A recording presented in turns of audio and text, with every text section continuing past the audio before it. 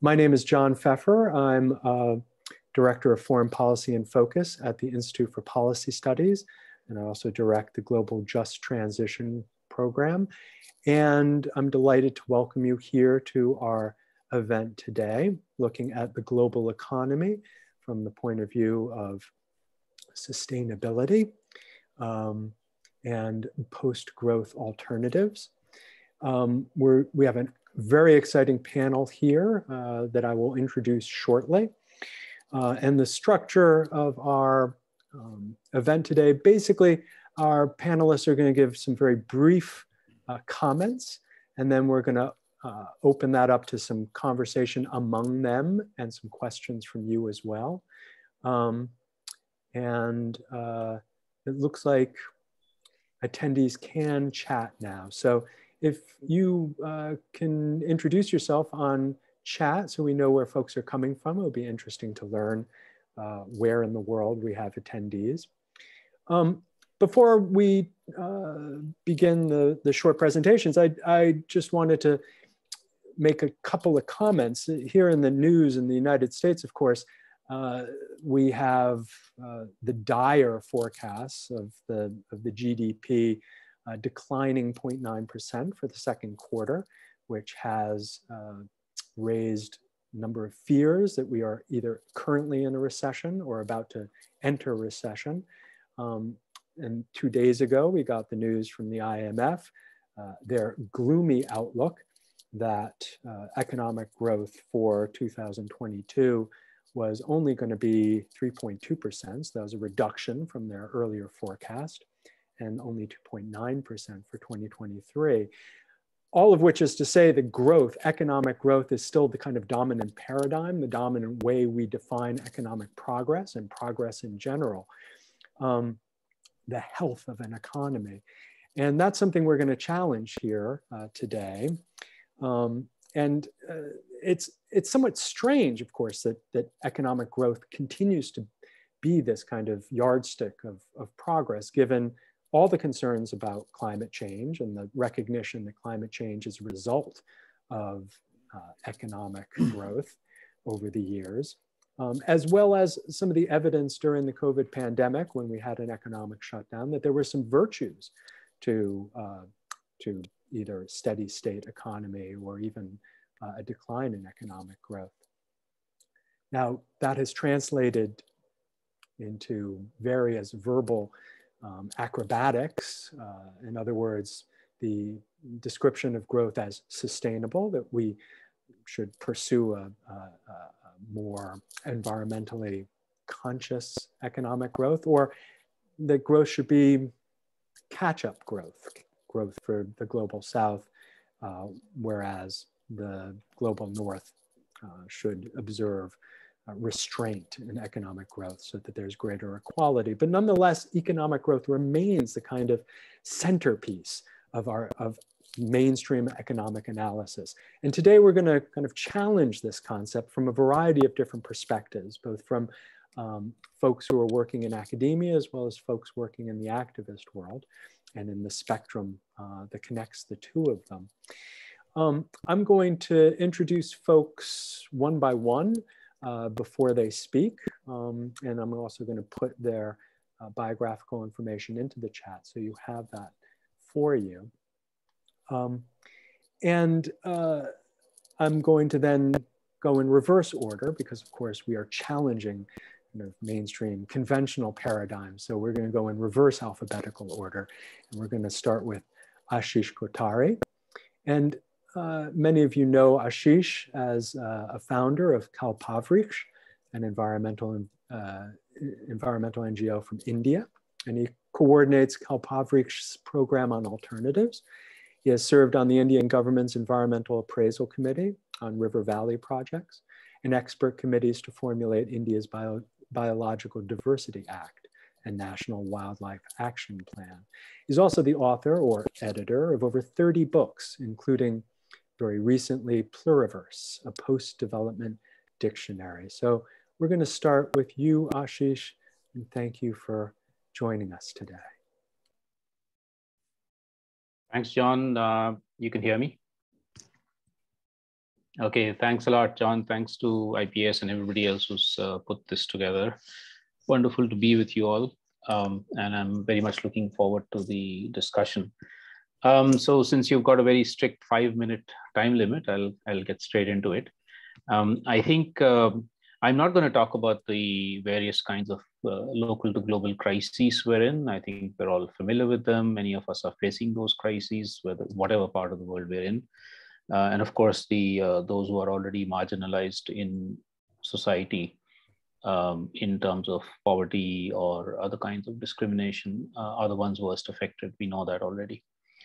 Um, I, would like to make two sort of broad points. Uh, one, that one of the things we're confronting is not just the problems, but also the so-called solutions that are coming to us from the same systems that have created the problems in the first place.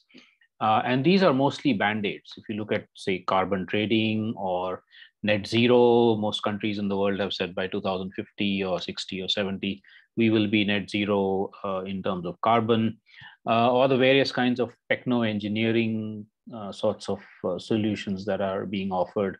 And to my mind, actually even sustainable development in many ways uh, are very superficial ways of trying to deal with the multiple crises we're in um, and they don't, uh, for the simple reason that they don't actually go to the structural roots of the crises. These roots can be found in either uh, much older systems of patriarchy, racism, and so on, or newer systems of capitalism and the nation state uh, domination, and others.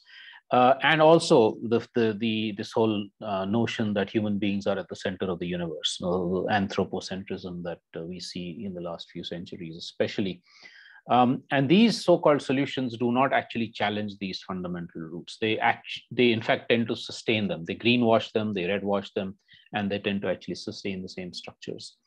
On the other hand, uh, what we also have are much more fundamental, much more systemic, um, transformative solutions that people are emerging with, uh, are coming up with, especially people on the ground, indigenous peoples, local communities, neighborhoods, uh, villages in various parts of the world, both in the uh, villages and in towns, both in the non-industrial and also the industrialized parts of the world. Um, there is resistance, which to my mind is very much part of those alternatives where people are saying, we don't accept this anymore. We don't accept racism anymore. We don't accept uh, that big mining extractive projects are necessary for uh, well-being. We, we will resist them, we will stop them. And just to give an example of why I think these are alter also alternatives is because um, like the movement in central India against two very large hydroelectricity projects 30 years back said, we don't want these projects not only because they will displace our villages and destroy our livelihoods, uh, but because the river on which these dams are being built is our mother. And we will not allow our mother to be shackled by your dreams of progress. So you actually see in these resistance movements alternative ways of of being, of acting, of dreaming, of relating to the rest of nature and to each other. But along with that, there's also the second kind of uh, alternatives, which are the constructive ones, where people are trying to meet their needs and aspirations in ways that don't trash the earth and don't create the kind of huge inequalities that we see in today's uh, society. There is the uh, you know the worldwide uh, the social and solidarity economy for instance the democratization of the economy itself the worker led production kind of systems the cooperatives uh, etc um, there are movements for sovereignty over basic needs food sovereignty energy sovereignty um, where communities are saying that these are the sorts of things that should be in our hands in our collective hands not in the hands of the nation state and definitely not in the hands of corporations. There are the movements for self-determination, indigenous people's self-determination, movements like the Zapatista and the Kurdish movement, which say uh, that we will be the ones who will govern our communities and we will do it in ways that are much more equitable and fair and, and just. And we, we don't believe at, that even there should be a nation state. Insofar as there is a nation state, we will make it accountable. But in our areas, we will in fact govern. There are the movements for gender justice, for, for justice for so-called disabled people, uh, and various other movements for, for equality uh, and, and fairness. Um, and I think underlying all of these also the movements for reintegrating ourselves within nature. You know, we've got this in, in Western modernity, this divide between humans and nature. Um, even the way we speak, we say humans and nature rather than saying humans and the rest of nature, and sort of trying to understand that we are very much part of nature and, and that we are a circle of life, not this pyramid. I remember in school, I was taught that we are a ecological pyramid on which human beings are right on top, but actually that we are a circle of life in which all species have, uh, have, have equality. Uh, and so the rights of not just humans, but also of nature. Um, and what this leads to also then is very fundamental questioning of what it means to be human. Does it mean more and more and more material possession, retail therapy, as they say, or does it mean much better relations with each other, much fairer relations with each other, much better relations with the rest of nature, with other species? And so challenging consumption and the incredible and gross inequalities that we have in society. And there, even the Green New Deals that we see in the US and Europe uh, and South Korea and so on um, have to be challenged. They have to be understood. I think they're very progressive in many ways, but they're also very regressive in some ways. And we see, I think just today, the announcement about uh, the senator in the US suddenly turning back and saying, I will support the climate, uh, uh, President Biden's climate deal. Uh, but then if you look at the some of the fine print of it, I haven't examined it closely. Some of you can tell me more about it. Uh, you actually see, okay, we will shift to electric cars. And we even uh, uh, Sanders' Green New Deal was all about, okay, every American will have an electric car and not a fossil fuel car. Sounds good, but then where is the mining going to happen for those electric cars? Again, there's that whole global south-north inequality and patterns of consumption that are not really being challenged. So my final point here, and I can elaborate that later in the discussion, is that while we have these amazing examples of alternatives all around the world, what we need in order to create scale, in order to challenge the mega structures we're up against, is much greater horizontal networking amongst these different initiatives. To, to, the scale is not about upscaling not about replication. It's about what I call outscaling, learning from each other, creating those horizontal networks of solidarity, which then create the critical mass to affect those larger changes. And I can talk later on about some networks that we're involved with, which attempt to do exactly this. Thanks, John. Excellent. Thank you, Ashish. And I'm, I, yes, I'm very interested in this concept of outscaling. So um, uh, be interested in following up on that later. Um, our next speaker, um, and thank you Ashish for being very conscious of time. You've set a great example for everyone. Um, Dorothy Guerrero is uh, the head of policy and advocacy at Global Justice Now in the UK. She currently works on and writes about corporate accountability, climate change, migration, trade and investment, China, and other related economic justice concerns. She's originally from the Philippines and has lived in the Netherlands, Germany, Thailand, and South Africa before moving to the UK. She previously worked with the Transnational Institute, African Women Unite Against Destructive Resource Extraction, and Focus on the Global South. Thank you, Dorothy, for joining us today. Thank you, John. Um, hello to everyone. Thank you for joining us um, this afternoon early morning or midday to your to your time or, or late evening, early evening. Uh, I'm aware we are on four time zones. I think I will I will start with saying that that coming from from the global south, coming from the Philippines, I very much agree with uh, Ashish's uh, point. And and for us on a campaign perspective as well, and looking at alternatives and promoting those alternatives, um, I will start also with what are the the ways that uh, movements and communities and also progressive researchers and, and, and policymakers uh, or those lobbying for, for good policies, uh, the, the important aspect is how do we challenge the rules of the, of the game? I mean, the, the rules of the trade, finance, investment regime uh, to address the climate chaos.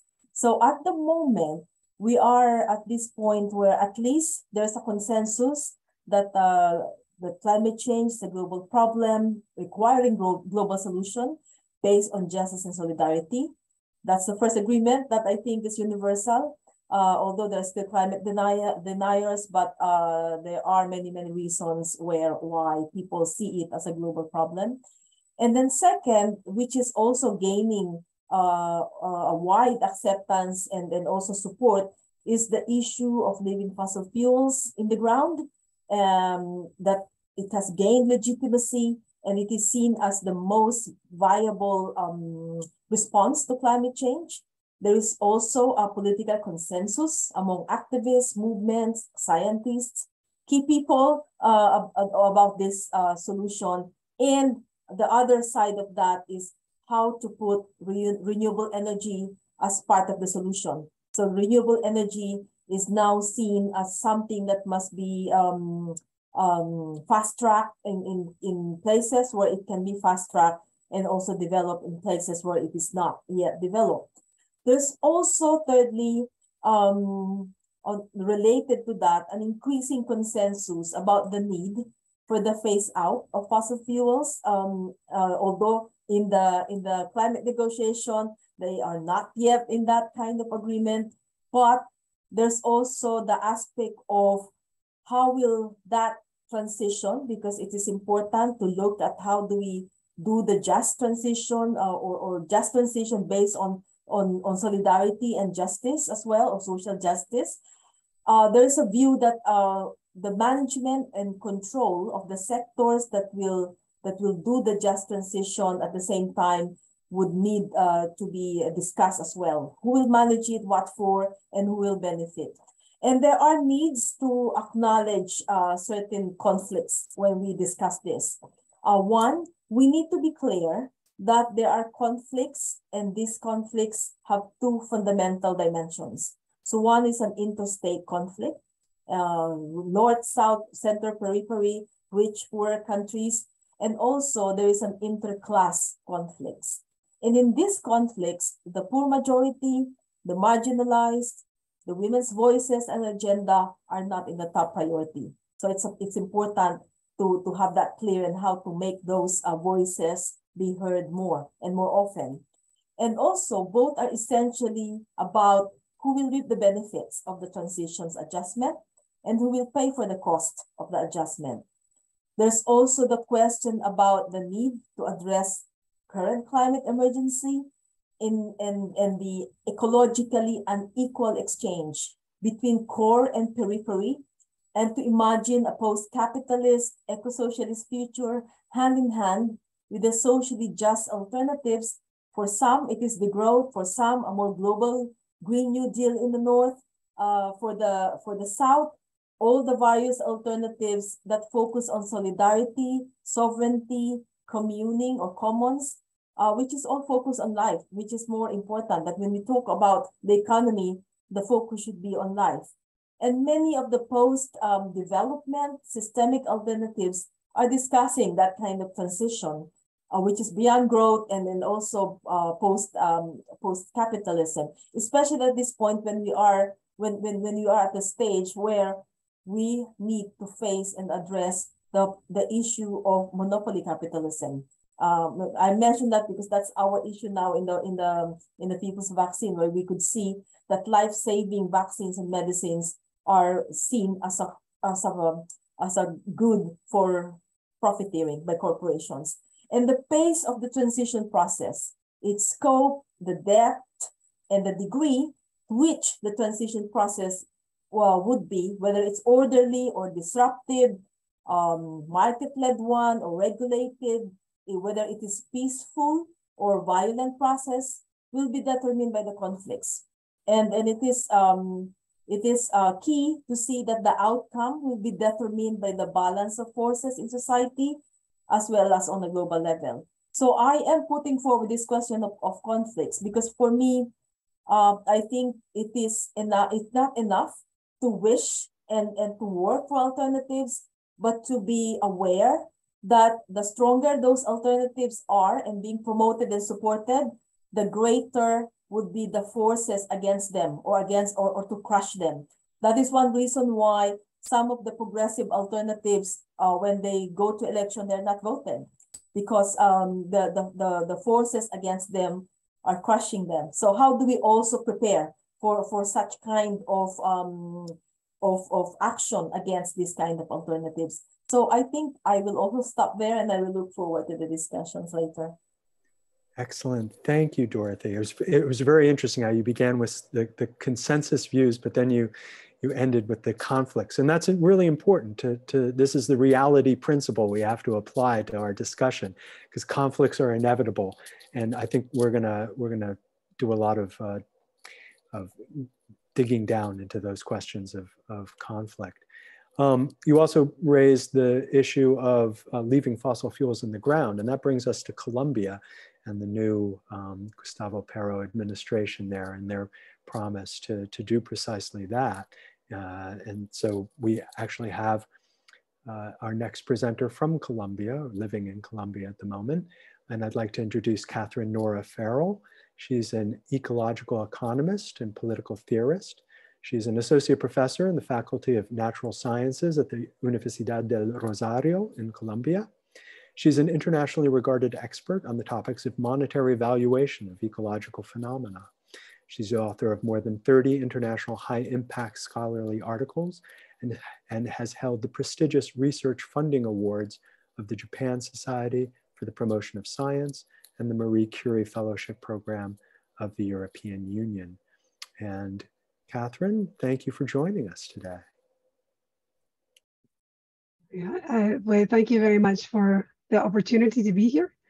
Uh, I am going to, if I can, share a few images. Uh, I suppose it's a bit of a generational thing, maybe. Uh, so, and uh, I sort of try to pass through those images while I am uh, uh, going through my uh, comments. So this is the first image for those of you who haven't seen it yet.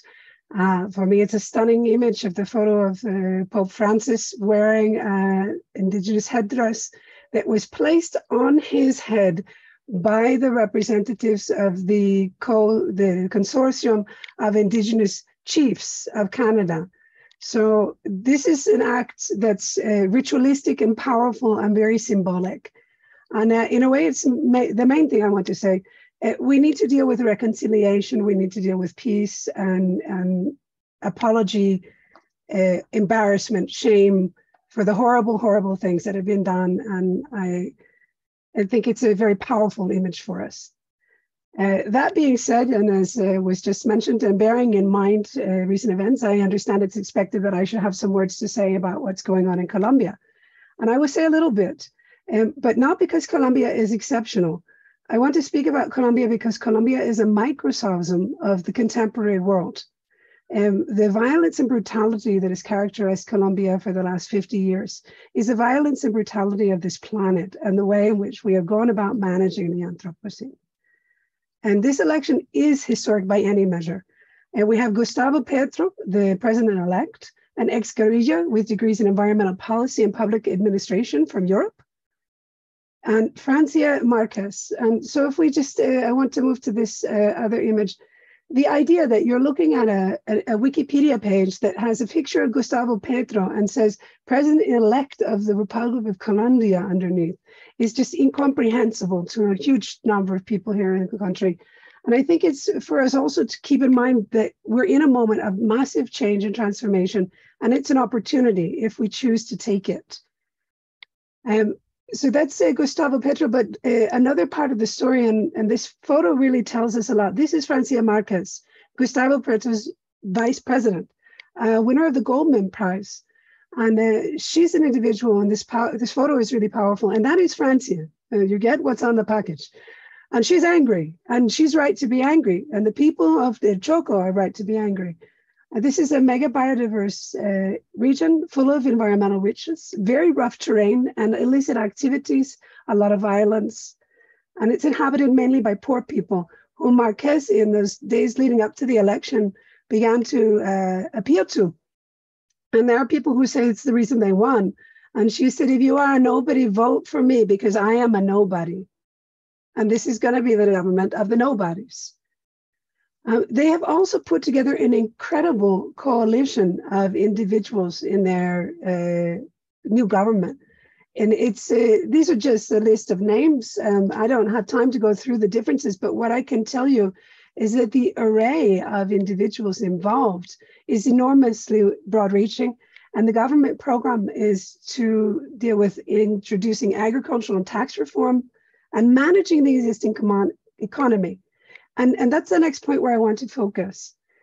So um, the situation that we're looking at in Colombia and the economy is typical of the planet in some respects and not in others. But the question of agriculture and how we are going to manage agriculture, I would say, is also very much bound up with the war in Ukraine right now. And there I just wanted to mention, because we were asked to touch on it, the question of Belarus, which is one of the major suppliers of phosphorus on the level planetary uh, agricultural industrial system. Um, so in, in that respect, I want to touch on that. I think Colombia is at a crossroads, but that the world is at a crossroads, and we've been here before. We were here with the rise of National Socialism in Germany. And we were also here in Colombia with a period that's referred to as La Violencia or the violence, where there's a brutal, brutal feud taking place over precisely how to structure the economy between conservatives and liberals, with the people, the nobodies of rural towns suffering the consequences. And so, this choice I would like to suggest is this choice of moving beyond the family fight between whether we have uh, laissez-faire capitalism and wanton destruction, or some type of hyper-vigilant regulation, which is uh, often accompanied by authoritarianism.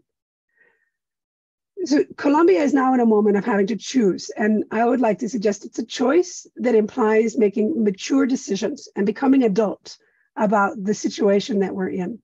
And a part of that is asking the question when and how and under what conditions do markets work and when and how and under what conditions do they not work as opposed to saying that it's all good or all bad so the unregulated market can and does generate enormous damage ecological human injustices and inequality but in ireland we have a saying uh, there's a saying that says it's a poor musician who blames their instrument and this goes a little bit into some of the comments that have already been made uh, markets are anthropogenic phenomena.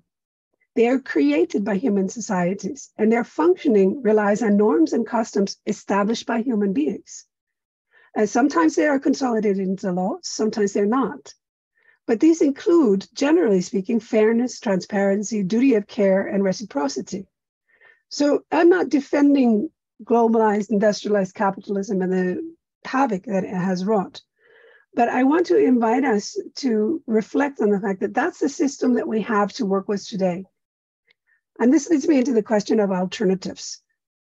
And here I come back to the Pope and the need to foster and practice and promote what I'm coming to refer to as an inter-epistemological ecological morality. And just by coincidence, or perhaps not, uh, the scholar I used to talk about this is from Canada and talks about Indigenous communities' rights. And she speaks, this is Murdoch, and I have the text if anybody's interested. And she speaks about crimes perpetrated against Canadian First Nations by European colonists. And she uses the concept of ecological violence to contextualize that. And in that way, I think it, it's necessary for us to start reflecting on this intimate relationship between the violation of the physical territories of peoples and the violation of those peoples and the ecologies.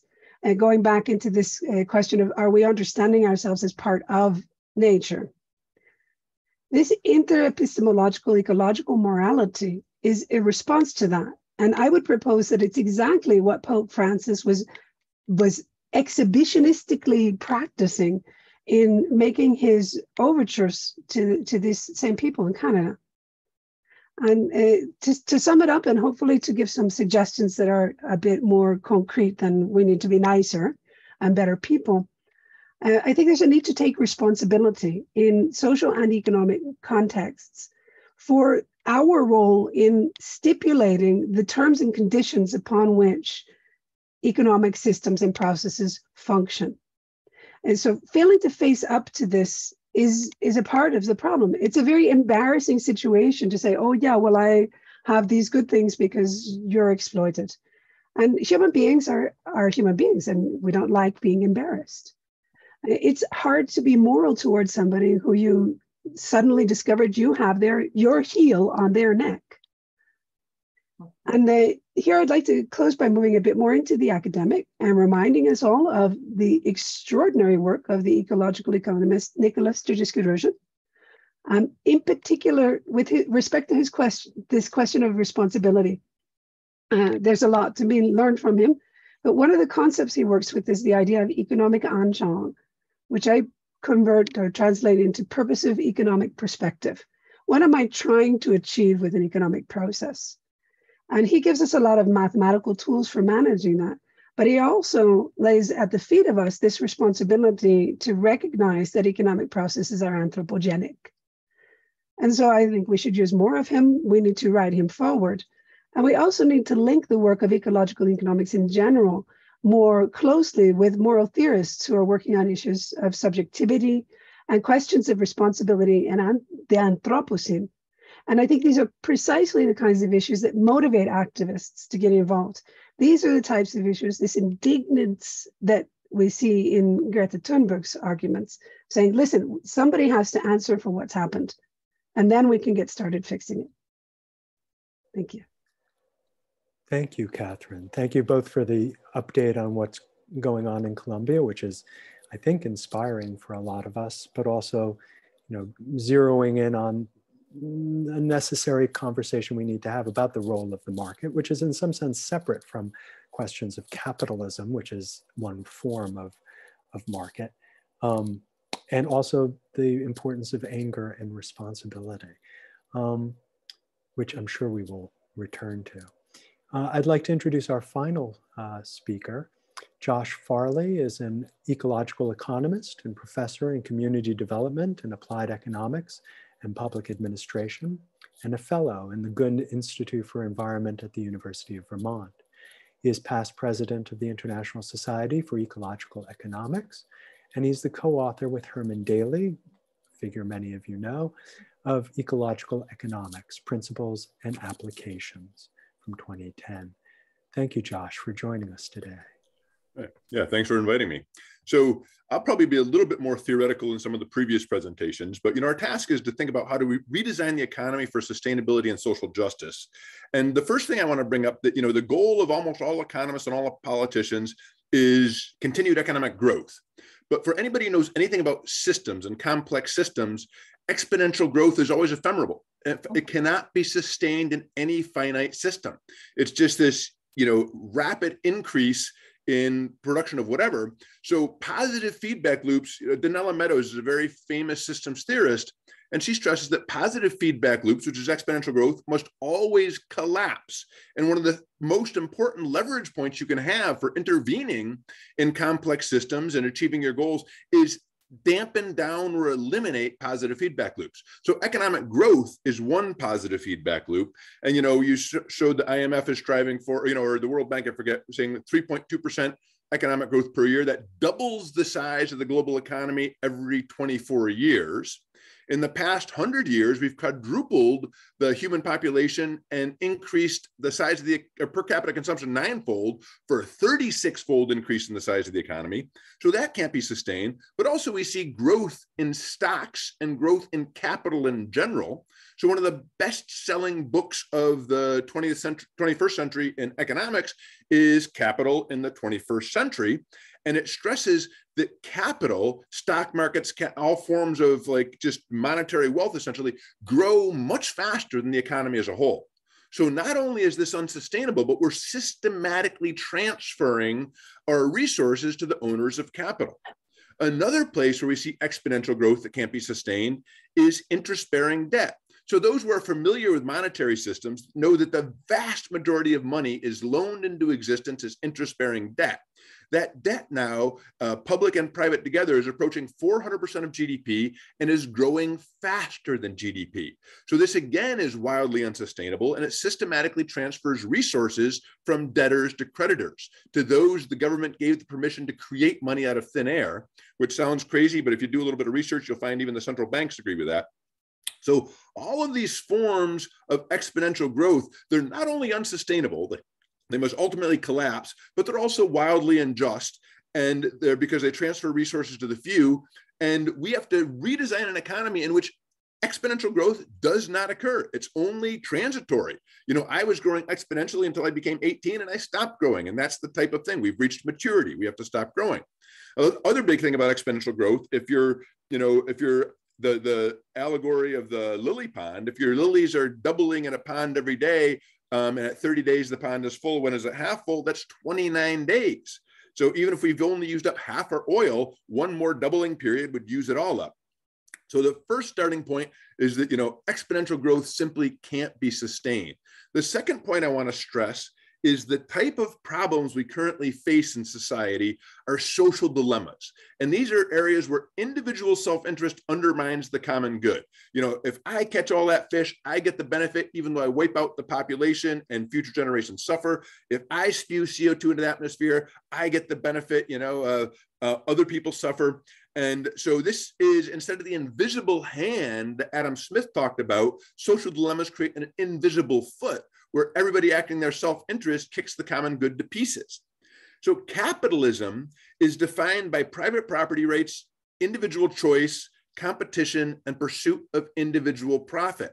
But for the social dilemmas we're facing, for global climate change, for you know maintaining global biodiversity, for maintaining the ozone layer, private property rights are impossible. They're not even worth talking about individual choice is impossible. I cannot choose how stable a climate I want.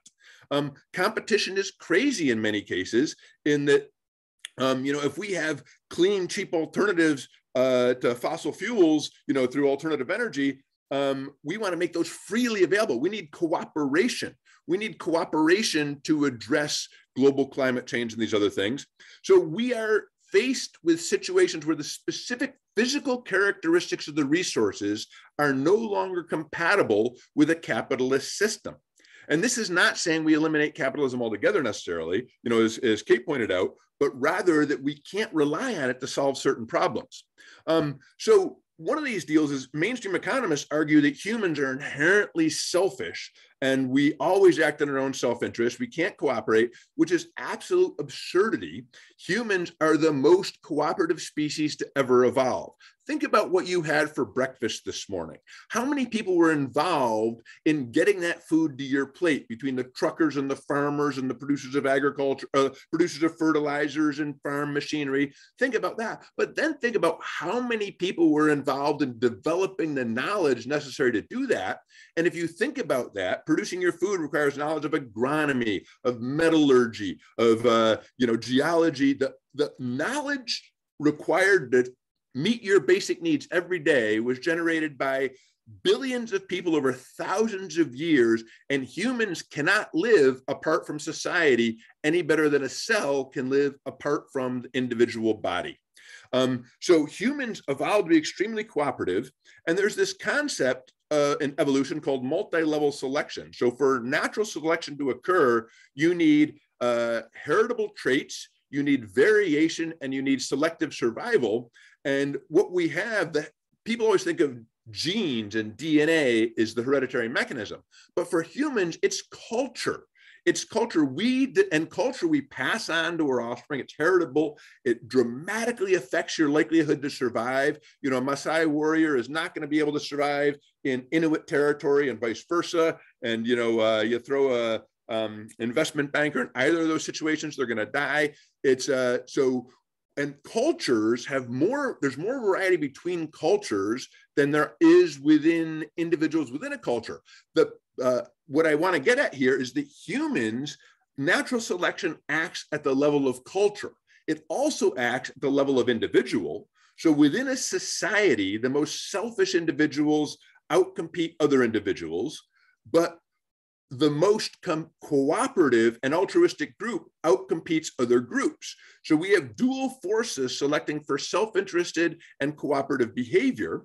And what we do to create cooperation is we develop morals and ethics and norms that bond us together as a community. These are absolutely fundamental to the future evolution of human culture. What we need to do is evolve to cooperate at larger and larger scales.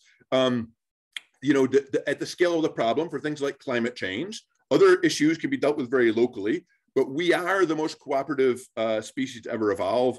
And we need to intentionally shape our future cultural evolution through choosing the moral and ethical values and norms that allow us to cooperate to solve these problems. Um, and that, that's our task. Um, and we always talk about we live in the market economy. And I ask my students, you know, what type of economy has uh, most affected your life? And they always say, oh, you know, we're a market economy. I say, oh, really? Your parents charged you for room and board? You know, and that's not the case. You actually, you know, your main experience of my students is in the core economy, which is that economy of reciprocity and gifting and providing for your close kin and community totally outside of the market, a radically different type of market a ra- I'm sorry, a radically different type of economy. We also have a market economy that's tailored towards individual needs and individual needs only. We have a public sphere or a public allocation sphere that tries to th- uh, uh, channel resources towards the collective needs of society. What we totally lack, and what I think ecological economics is really trying to promote, is economic institutions that put the uh, you know, focus on the biotic community of which humans are a part and really try to preserve, protect, enhance, and restore that community. Over the last 50 years, we have been through the neoliberal revolution, we've been trying to take everything from that core economy of gifting and care for your loved ones and from the public sector economy and put it all into the market. We're now trying to put natural resource bases into the market and you know or natural resource base into the market. And this is just the wrong approach because of the physical characteristics of the resources. We need to flip that dialogue around and start trying to uh, take things out of the market economy and put it into other sectors of the economy and just as a few, you know, perhaps practical pathways, um, when I look at this core economy where things are done through gifting and reciprocity, it's really uh, for the common good. Um, we need to develop an economy that's main goal is not growth, but secure sufficiency for all. All our basic needs are met. Our planet is too small to achieve much more than sufficiency, meaning that more and more consumption can no longer be our goal. We should instead be focusing on designing economic systems where production is fun. We're collaborating with our fellows to meet our basic needs, gives us a sense of award, reward. But a few quick practical pathways that I think we should pursue. The first is a green knowledge commons where all knowledge that contributes to a socially just sustainability transition is free for all on the condition that nobody tries to patent any improvements. And universities could re- should really be doing this. So I, we, I've been looking at into um, my university. We spend five hundred thousand dollars a year trying to provide uh, get intellectual property rights, which net us, which earn us 400,000 a year. So we lose, a, we're spending $100,000 a year of essentially taxpayer money to deny the public access to knowledge we produce for the common good.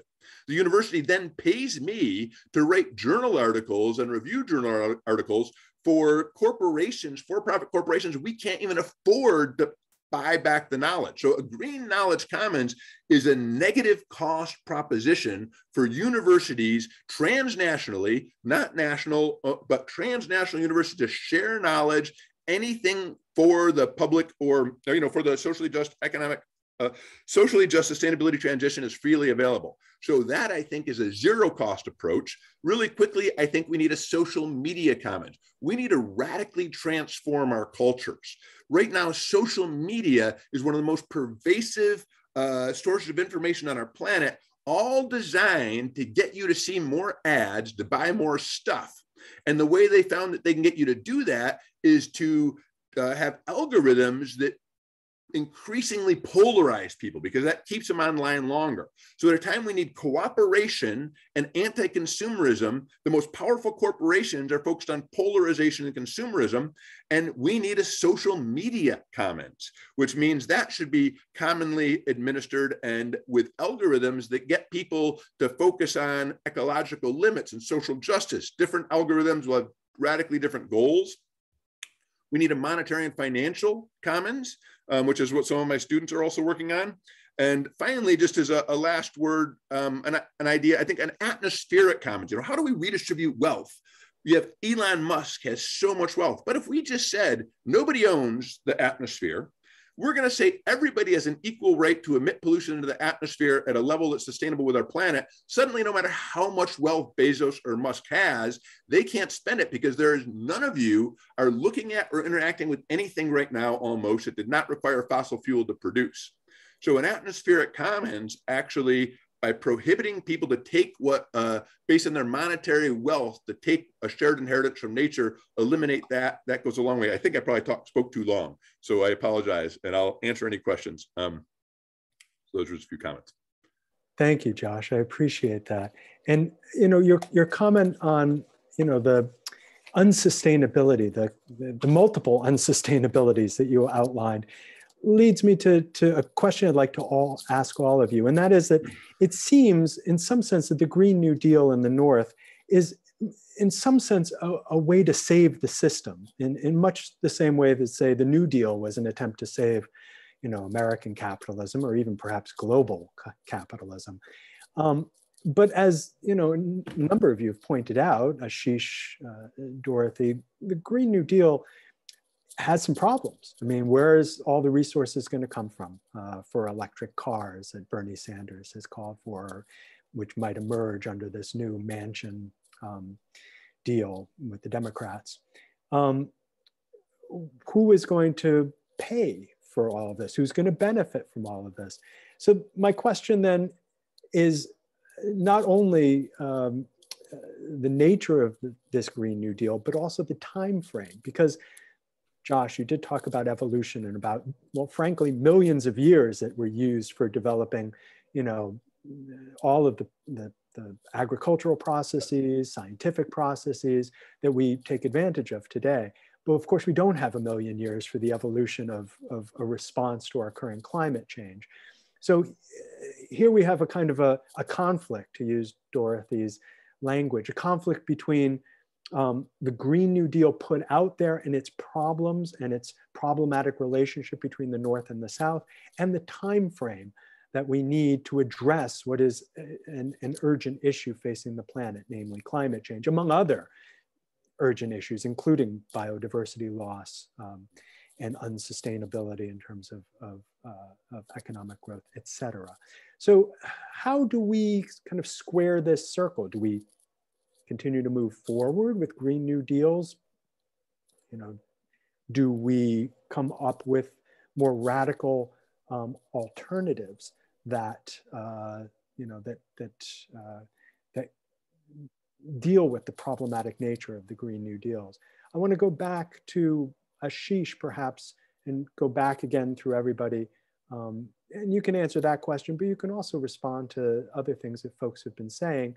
And I encourage our attendees to put questions in the Q&A so we can get to those as well in the next round of, of responses.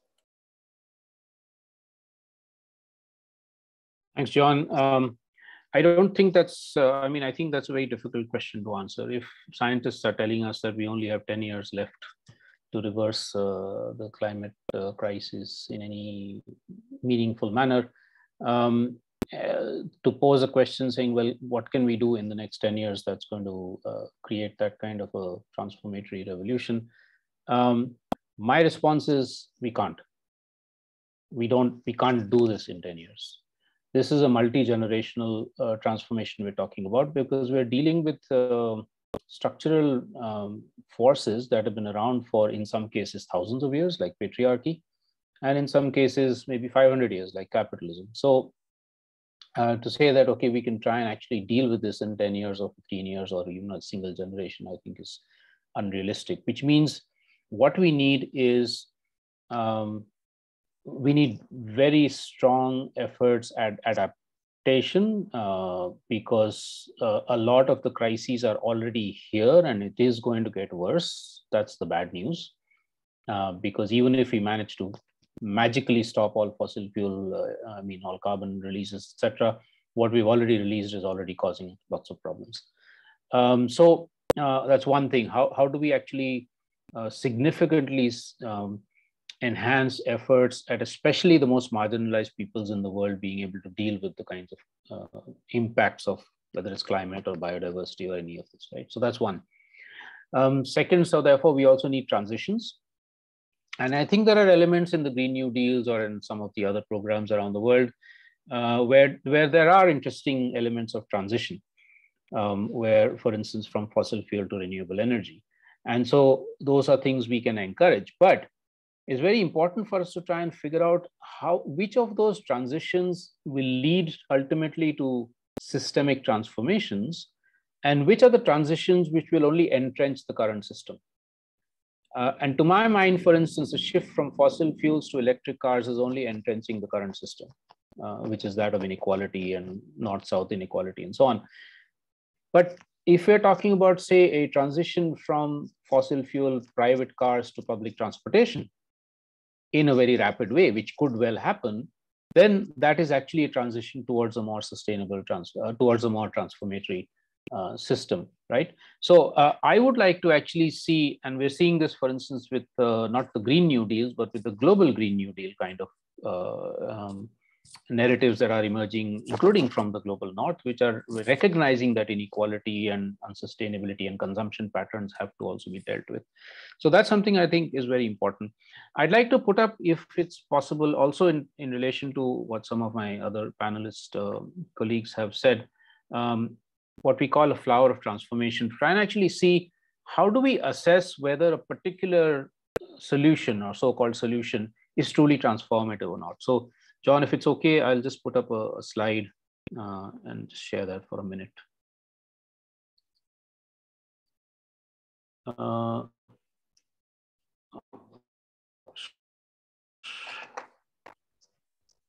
I think I lost you all.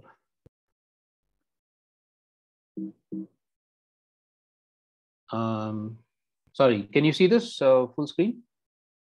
Okay, uh, I mean, this is just uh, a favorite map of mine because it's so decolonizing, where uh, Europe is uh, shown to be its actual size and Africa is shown to be its actual size and England uh, disappears. anyway, but this was just to actually also put up the fact that there are there are all these fantastic alternatives, both practices and worldviews around the world. But I wanted to really show this one.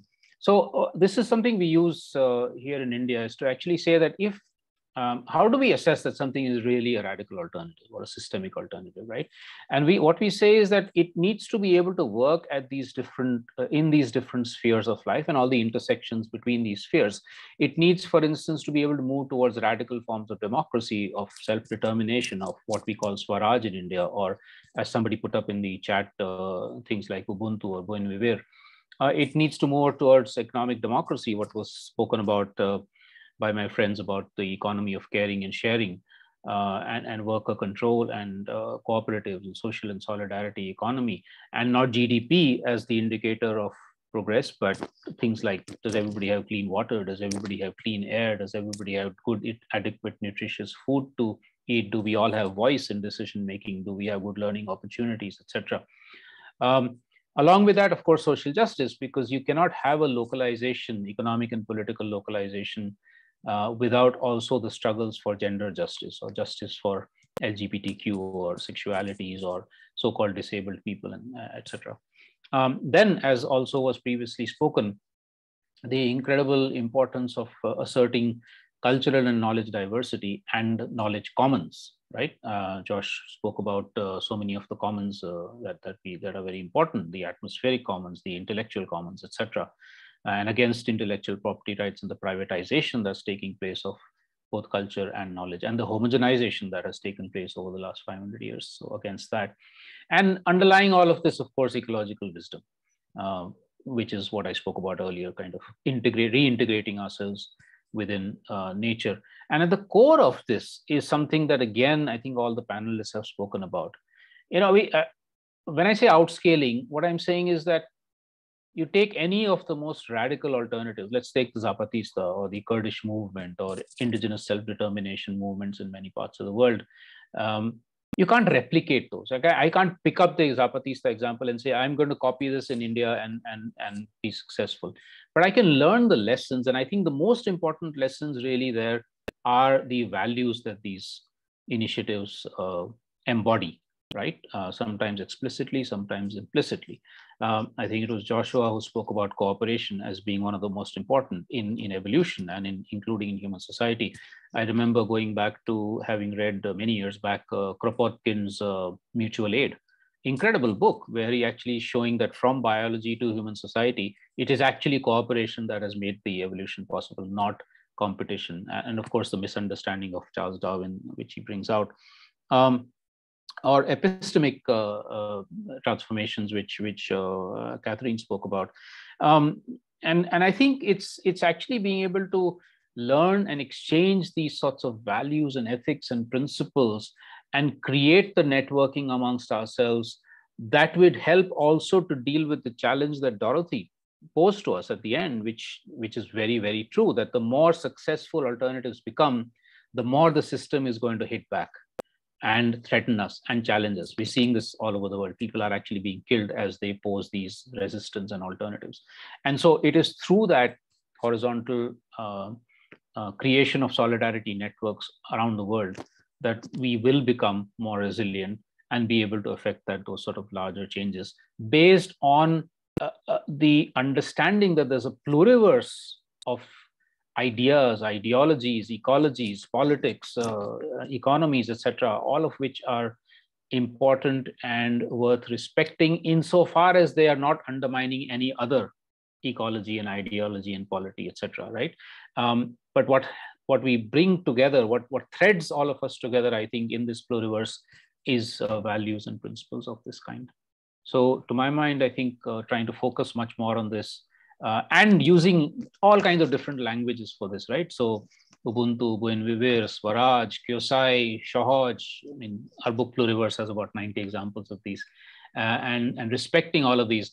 And my last point here, if I might just add in a little uh, naughty point here, is that, and this is something I always uh, ask my uh, degrowth friends because now degrowth is becoming the new export all over the world.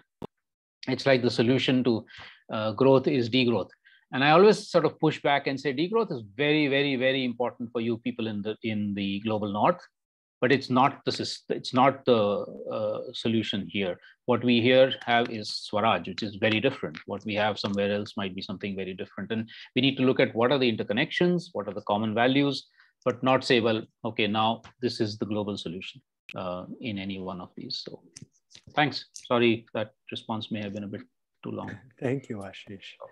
Um, Dorothy, I want to I want to go back to you, and especially on this question of of the rules of the game, getting getting voices from resistance uh, to help reshape, rewrite the mm-hmm. rules of the game, um, but also um, you know uh, bearing in mind as uh, as you said that there is going to be resistance to the resistance, and how do we how do we uh, uh, address that resistance to the resistance?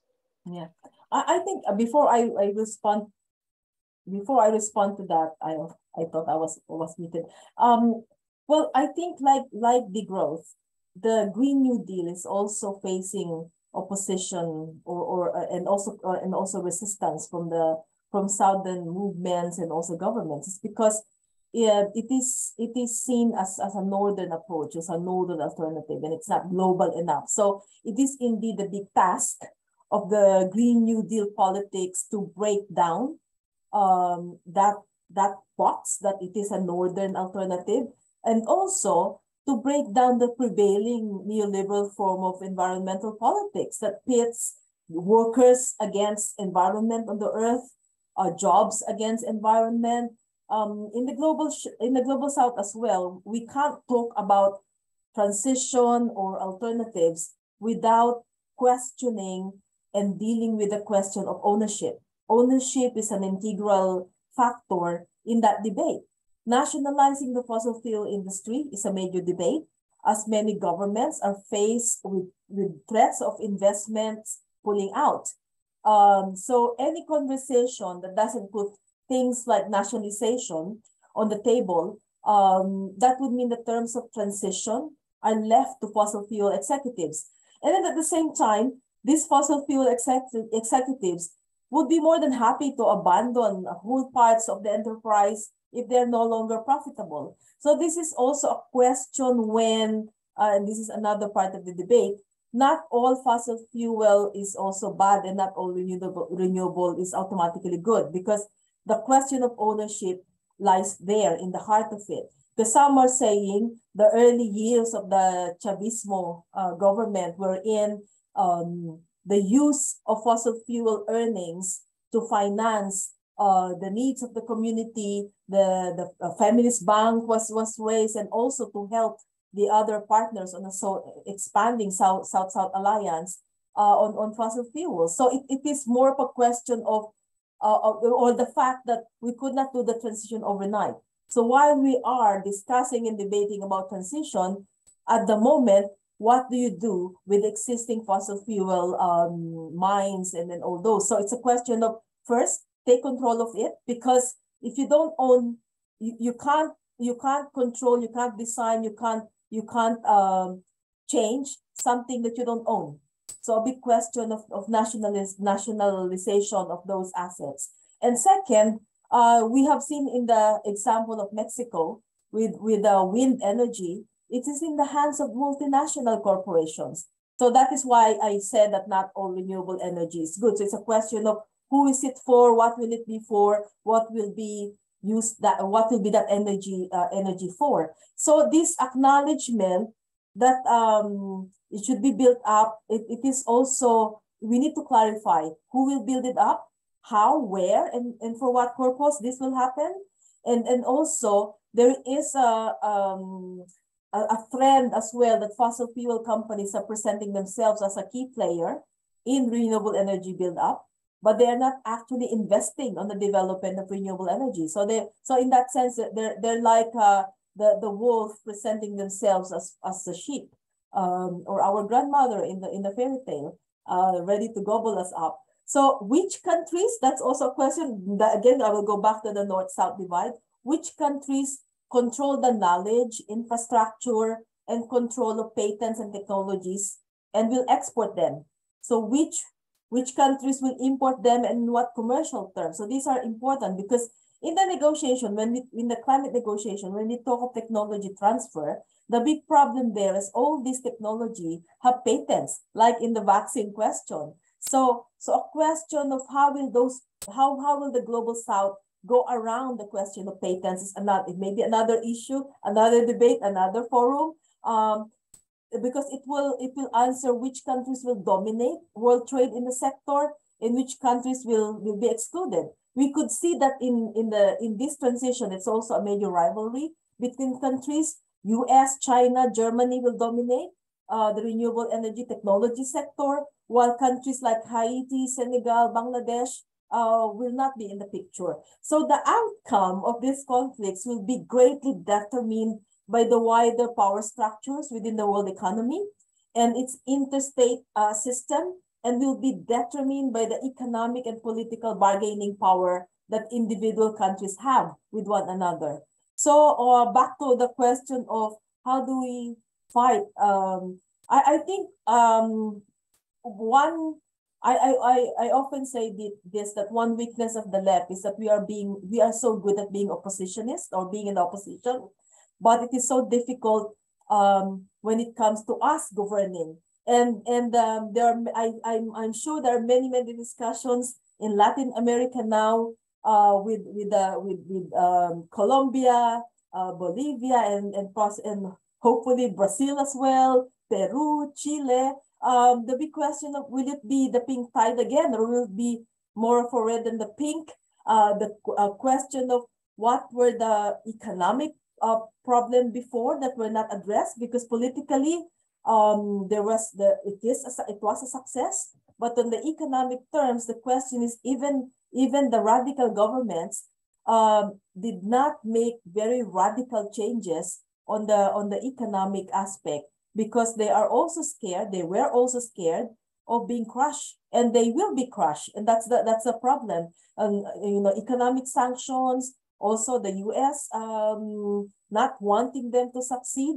Um, so I think there uh, there will be no no no. Um, I, I think the, the answers are being built, but the but at the moment the more important factor is when we think about the debate as well, bringing back the question of the state because there had been a period when many movements um, I, I don't disregard totally the, the you know, the, the small, the, the, the independent, um, because they, they, they, they have roles. But when we talk about transition, we, we, it has to be in a certain scale. It has to be in the national level, and there should be national ownership.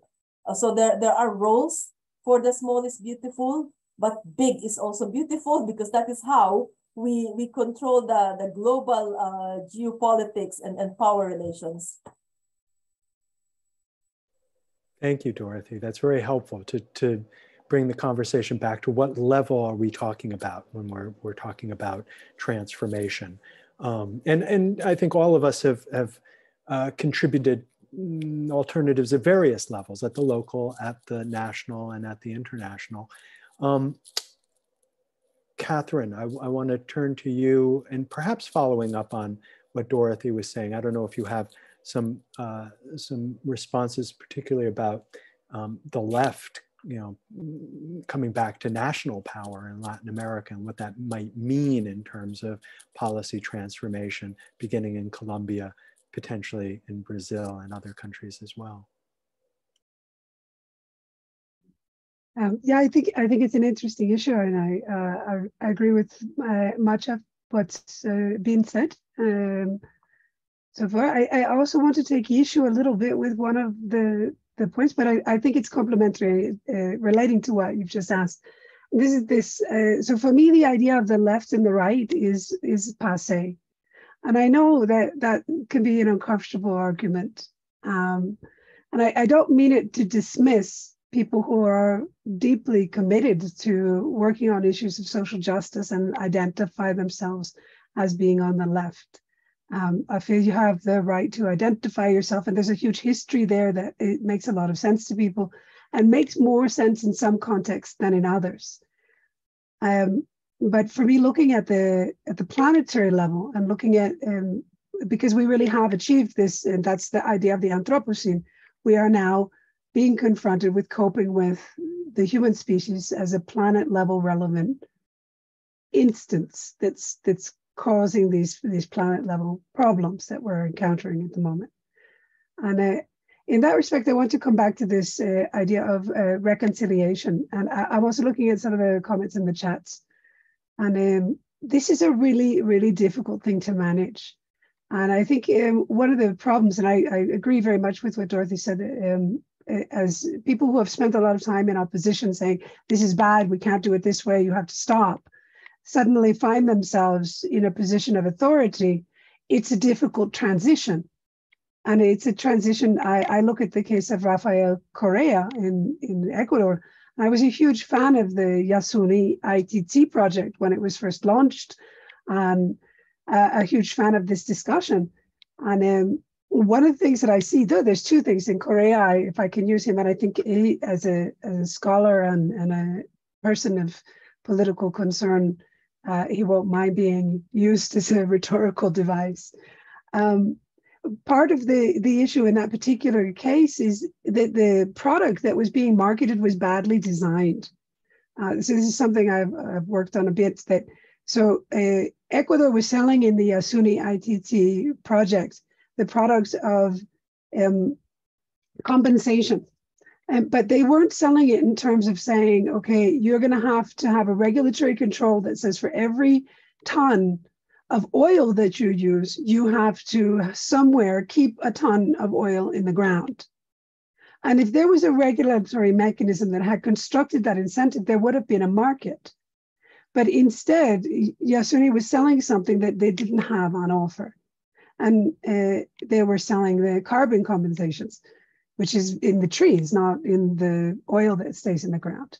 So I, I mentioned that just as a technical point because I think we need to, uh, as the opportunities arise on the global scale, to be able to open up these discussions. People are paying attention to ecological economists right now, and they're saying, "Oh my God, 50 years ago you were right.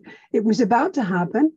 Uh, sadly, 25 years ago, I was saying, I don't think we've got 50 years. I think we got 20 if we're lucky and and that's what we got and uh, so there's a huge opportunity now and it's a great responsibility uh, it's very difficult to to be noble and dignified from the position of having been so badly treated And here I think it's not just about the Pope, it's also about these incredible indigenous leaders who said, okay, you came here in good faith to apologize, and we're not going to rub your face in it. What we're going to do is tell you, you are like us. And we're going to do that in the most uh, majestic and, and, and symbolic way we can by giving you this headdress that is, you're not allowed to wear this headdress if you haven't earned it. And so by giving him this headdress and placing it on his head, they said, you have earned our respect. And I think that that's a duty that exists on the, if you want to call it the left. But the other point, and I'll, I close on, on this because it comes back to what's going on in Colombia, but I think also at the planetary level. Um, I really do not think that it's very helpful for us to be talking about left and right. And we need to start building much better coalitions of people who are concerned with planet blows up, planet doesn't blow up. Because this is really the, the issue at the moment. And I, I, I think that means dealing with questions of fiduciarity in company design, which is an issue I've tried to work on, and the personality of a corporation, the personality of an investment project. Uh, because the issue that exists at the moment, I think, is even much uglier than we imagine. The, the worst case scenario that I can imagine is that ecological destruction and ecological recuperation become a business and that the destruction of ecological substrates for exploitation is then followed up by another sector that goes in and takes investment to recuperate. And there's a upper echelon of economic monetary accumulation associated with exposing people on a, a random and capricious uh, basis to that uh, type of a life. So I really think we have to start um, building different types of coalitions. I guess it's the sort of final comment. Thank you, Katharine. And perhaps that ties back in with what Ashish was talking about in terms of horizontal um, coalition building. Um, I want to give Josh an opportunity to, to respond. Um, and hopefully we'll have a little bit of time. I want to thank Ashish for answering some of the questions that come up in the Q&A, which uh, is very helpful. Uh, others of you can kind of delve in there and, and answer as well.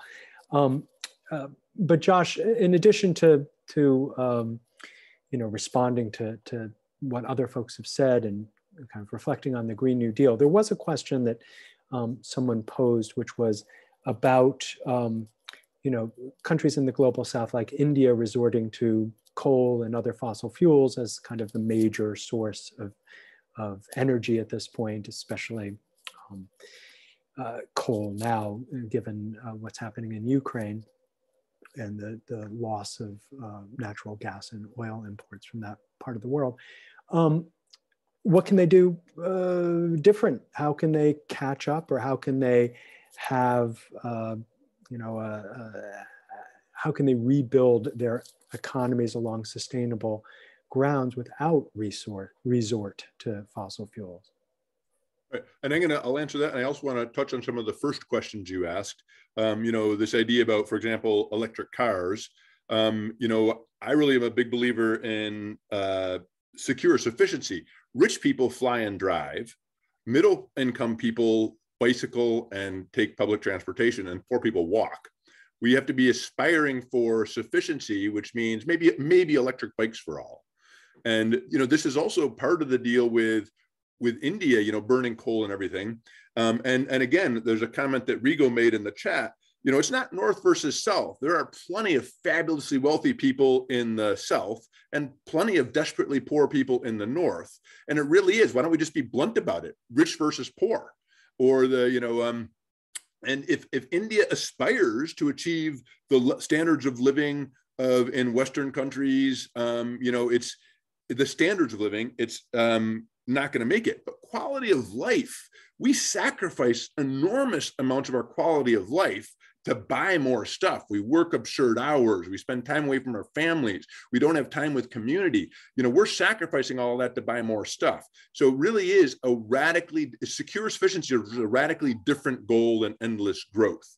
And you know, and the social connections and everything that could really be promoting this positive vision of an alternative world um, is more what we need to be focused on. You also made a, a point about how, um, you know, well, it took, you know, millions of years to evolve and how do we do it? So genetic evolution takes a very long time, less time than people used to think, but still a very long time. But cultural evolution can be astonishingly fast. Take a look at World War II. You know, we went from being a, a capitalist economy. How many cars did we produce in Detroit in World War II? Zero for the public. You know, the government just took it over. And uh, we suddenly we rationed everything. We had rationing on food, rationing on uh, gasoline, and people accepted that. People recognized we have a serious challenge. We stopped focusing on individual needs and started focusing on collective needs, and we did it astonishingly fast. I mean, you know, we just and and I think a lot of the rationing, you know, people are always into these free markets and everything, whereas rationing is often just a far superior solution. Um, and one quick example of that, you know, California had uh, Enron and these uh, oil companies got together, agreed to take electric electric power offline, knowing that it would lead prices to skyrocket. So we see a tiny decrease in uh, food supplies and um, oil supplies because of the Ukraine war, and prices skyrocket. Same thing with um, you know any kind of essential resource like energy or food. So you know, so the skyrocketing prices like disrupted the um, you know the economy and political system of California. It led to, you know, uh, uh, the governor got thrown out. They elected um, uh, uh, Schwarzenegger. At the same time, Brazil had a worse elect uh, crisis because their hydropower that had a major drought. They said, no, we know how much electricity you consumed last year. You're going to consume 10% less this year because that's how much less energy we have. Price will stay the same, zero disruption, easy to do. It just shows that many of these things we use, like in World War II, like rationing, are far superior to the market, far less disruptive, far more fair. And I think, and we've proven that we can adopt those at an incredibly fast pace and a very large scale if people recognize the seriousness of the problem. And, uh, you know, so again, I think that countries are going to have to realize that we do live in a finite planet and this pursuing Western gross overdevelopment in which people aren't happier, aren't more satisfied with life, you know, and so people are sacrificing their well-being on the altar of consumption. And, you know, there's, that's not a path forward. Um, so I think that the countries like India, um, you know, they could meet the basic needs. They could attain secure sufficiency with probably a lower ecological footprint than they have. Um, but it's uh, that I think that has to be the goal. Um, I don't know if I actually answered your question, but well, it wasn't my question, but thank you. That's yeah. useful. Um, okay, we have 10 minutes left. So what I'd like to do here is basically do a lightning round to go back um, and give you all a chance, uh, which would factor out to approximately two and a half minutes each. So be mindful of that. Uh, just to respond to whatever. I know, uh, Dorothy, you already kind of responded in an interesting way in chat. People should take a look at that. But you can, you know, Ashish, you can uh, elaborate on the horizontal networks. You can reflect on the question Josh was uh, grappling with on um, other uh, energy sources in India. But you have two and a half minutes. We're going to go right in the same order we, we started in, beginning with Ashish. Thanks. Yeah, uh, no, I think uh, what Josh has posed is, of course, a huge challenge. Um, but I think what we see uh, in terms of a lot of the grounded initiatives here is that people are not, uh, people are actually enhancing their uh, well-being and their living standards uh, by focusing on things like food and water. Um, and doing it with um, you know significant levels of or very different kinds of energy systems. So decentralized renewable energy where you need energy to, to be generated, but also looking at energy in very different ways, passive energy, uh, human energy, bio, uh, biofuel, bio sources, not biofuels in the commercial sense, but bio, biological sources. Um, uh, and, and actually trying to say that how do, for instance, what kind of agriculture uh, can we do which requires very little external energy inputs?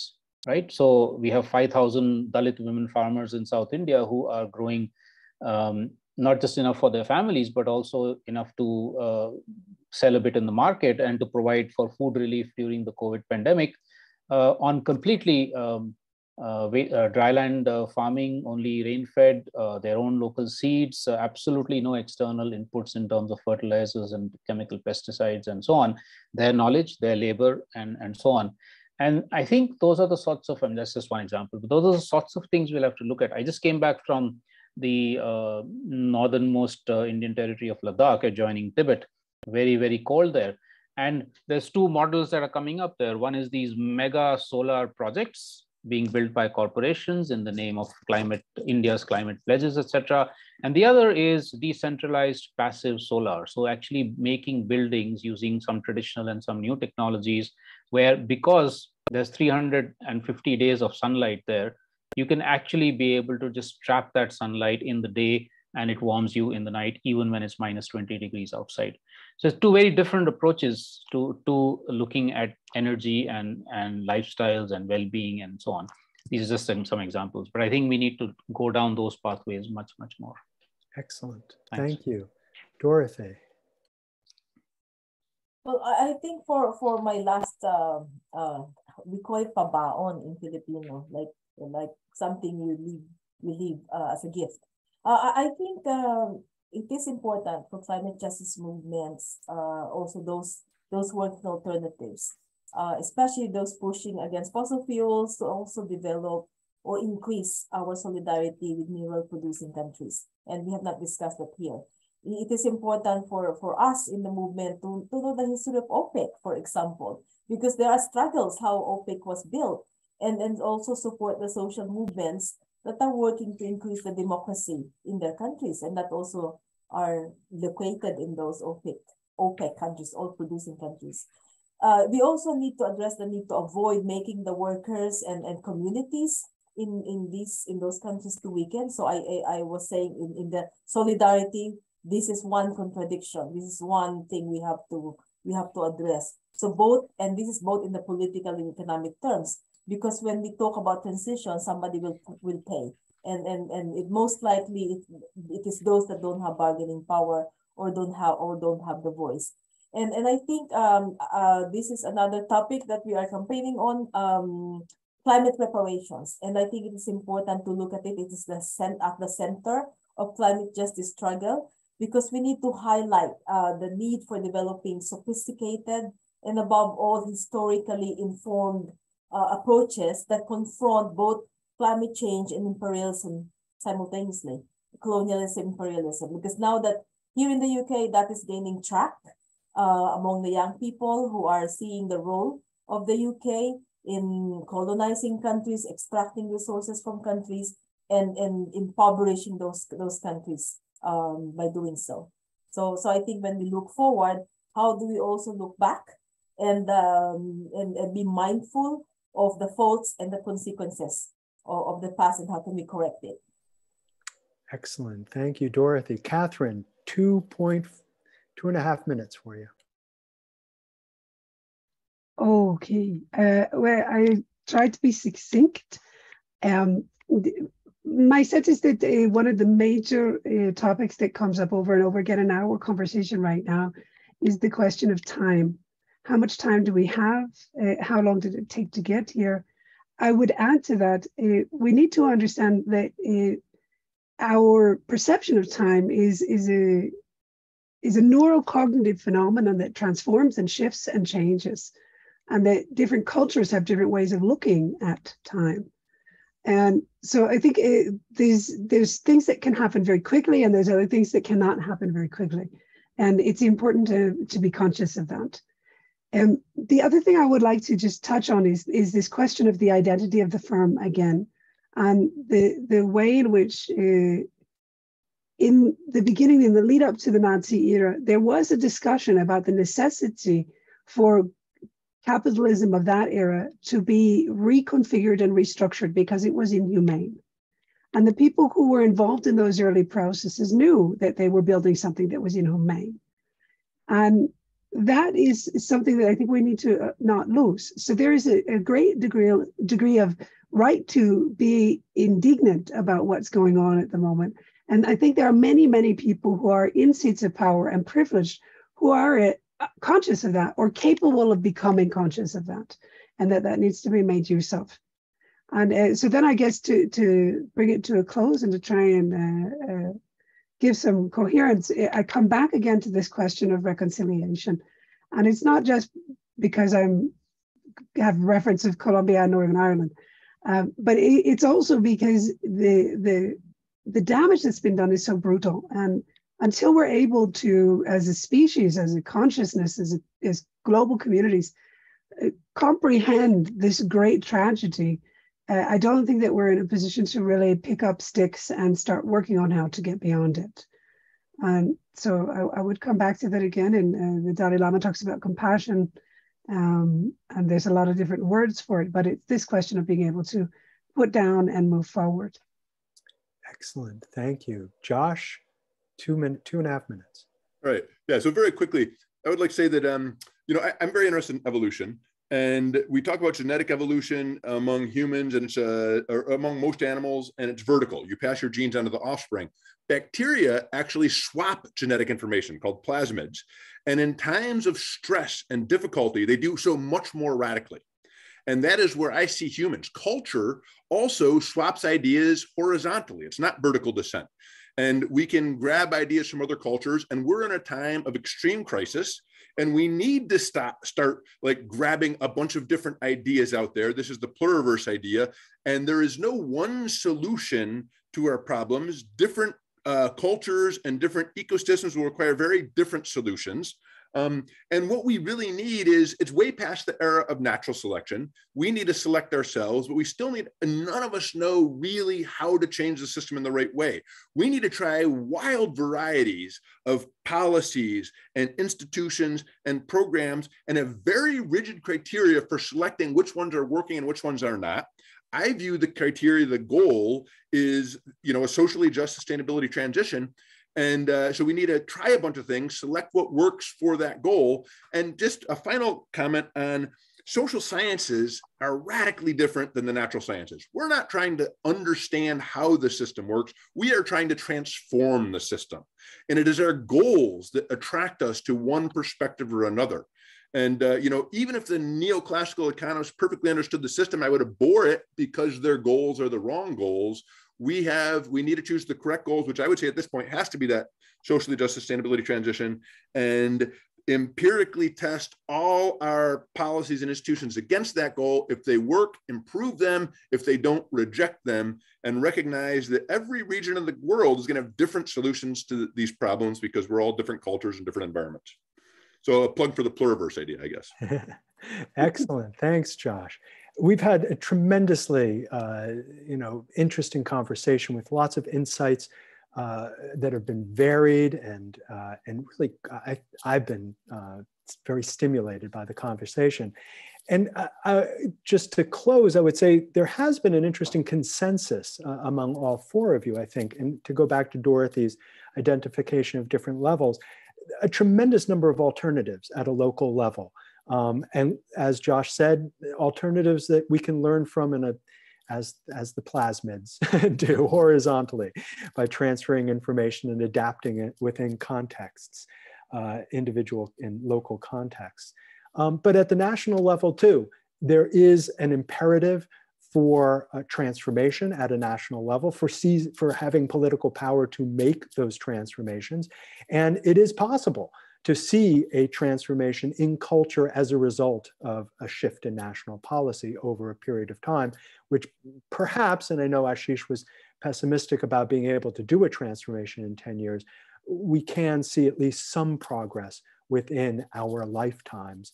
And then at a global level, and the, the importance of um, a, uh, a, something along the lines of a global green new deal though we would never use those terms. We would prefer to use global just transition. And at the heart of that what uh, dorothy was talking about which is climate reparations which is another way of what katharine was talking about which is reconciliation. Because what is climate reparations but a form of reconciliation between not so much north and south uh, although it may look that way, but between rich and poor, um, as, as others have pointed out. So I think there's tremendous consensus among what we have talked about, all four of us here on this panel. I wanna thank you all for your contributions. Uh, we are going to uh, make this video available. We'll write this up as well and post it at our website at Global Just Transition, which I put in the chat. I wanna thank all of the participants uh, all of the attendees uh, for your very interesting questions. And uh, we look forward to continuing this conversation in the future. So Take care from the Institute for Policy Studies. Thanks, John. Thanks, everybody. Thank you, John. Thanks, Thank everyone. you. Take Yeah, thank you, everybody, for your attention. And uh, I'd love to hear the other talks. Those